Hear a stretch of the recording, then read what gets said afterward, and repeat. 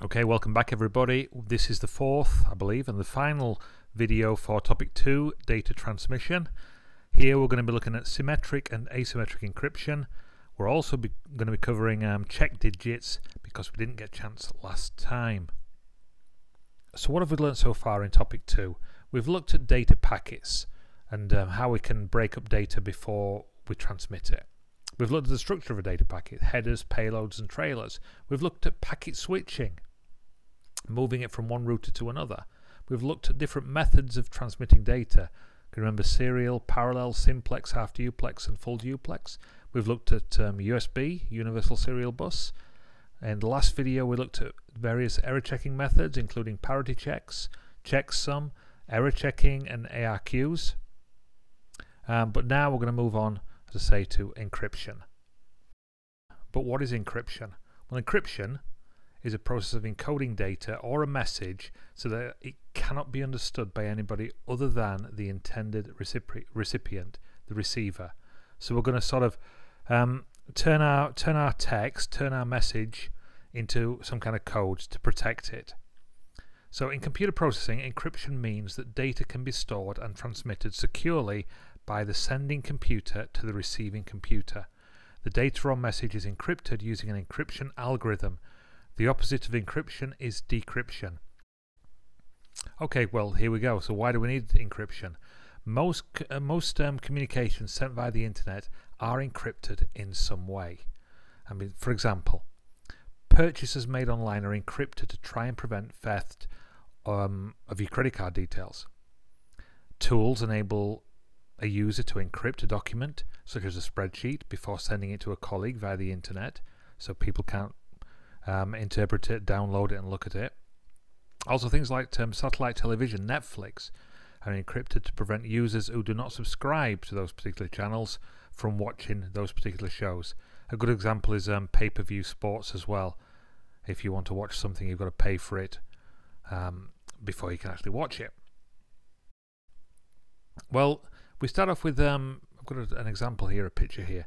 We've got some plain text um, that we don't want anybody else to see other than the, re the recipient.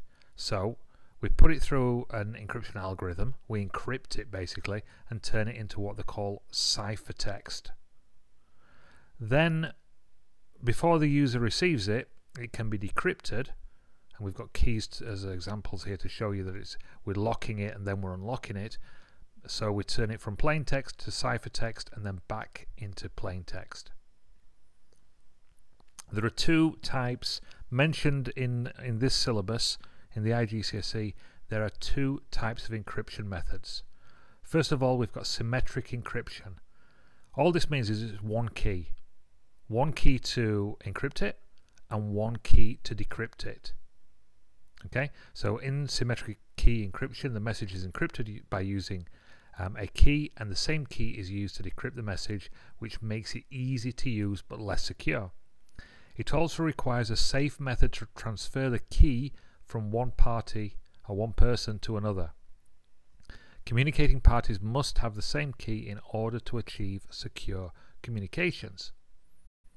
The other method, perhaps a more secure method, is something called asymmetric encryption. So in today's digital world, there, are, there has been a need to develop a different approach to encryption, something more secure. This is called asymmetric encryption. With this approach, a pair of linked keys is used and consists of a public key, used to encrypt the data, and a private key used to decrypt the data. Both keys are different, but they're related. The public key is available to anyone who wishes to send a message. On the other hand, the private key is kept at a secure place by the owner of the public key. Okay? So the private key is kept safe, and only that person with the private key can decrypt the message. Differences between symmetric key encryption and asymmetric key encryption. Um, there may be exam questions whereby they're asking you to, to talk about the difference. Of course, the main difference is symmetric uses a single key a public key which um, is used to both decrypt and encrypt the message, whereas asymmetric uses two keys, a public key and a private key, one to encrypt and one to decrypt. The size of ciphertext is smaller or the same size than the original plaintext in symmetric, whereas the in um, in asymmetric the ciphertext is the same size or it's larger than the original plaintext. Um, the encryption method is fast um, compared with um, a slow speed for asymmetric key encryption. Um, for symmetric key encryption, it's generally used for large amounts of data, large amounts of information. Whereas for asymmetric, it's used on small amounts of data, even things like passwords.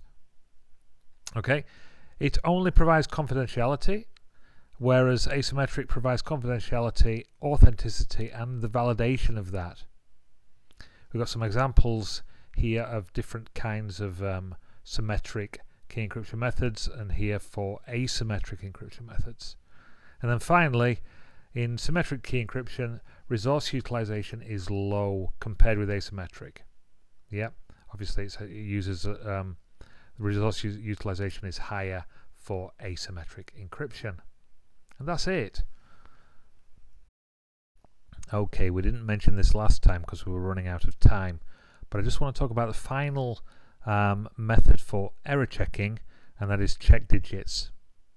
Okay, it's different from the others in terms of its use for it's used with barcodes and it's used for the mistyping or the, the misscanning of a barcode.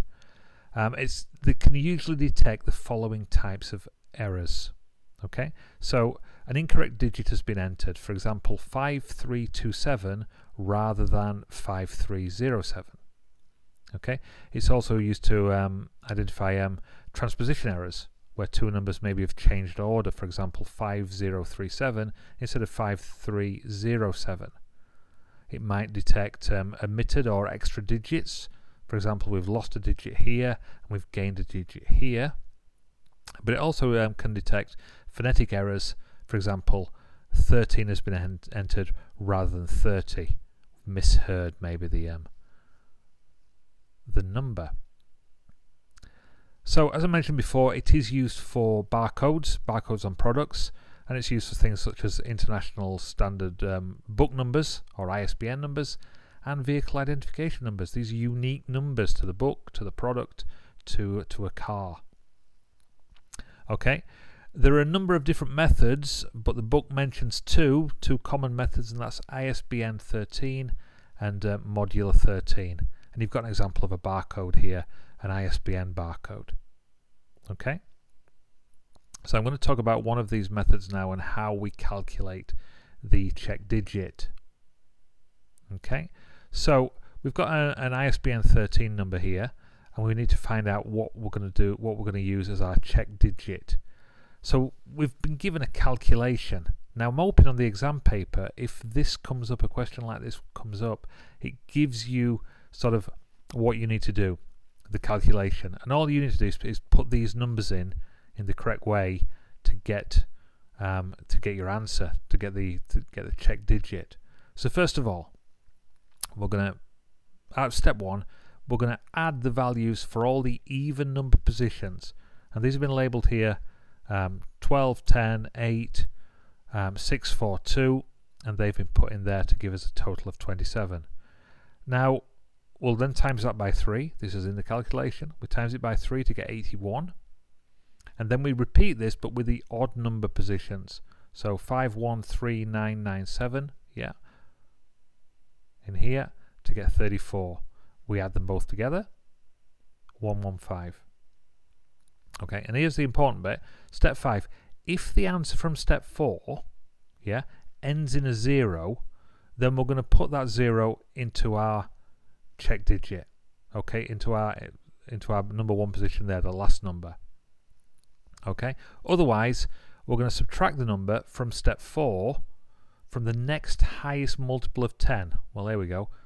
So if that's 115 we've got there the next highest multiple of 10 would be 120 we take that away from that and we get the number 5 and that will go yeah in that position there Okay, so that's basically a, a check digit.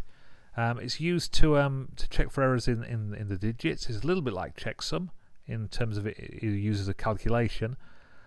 Um, and if it's on an exam paper, I'm hoping it will give you a um, a calculation formula to work through these digits. Okay. Um, that is it for topic two, um, data transmission. So um, I hope you've enjoyed it. I hope you've you've you've gained a lot from it. Please um, subscribe and join me next time for when we start um, topic three. Thank you very much indeed. Bye for now.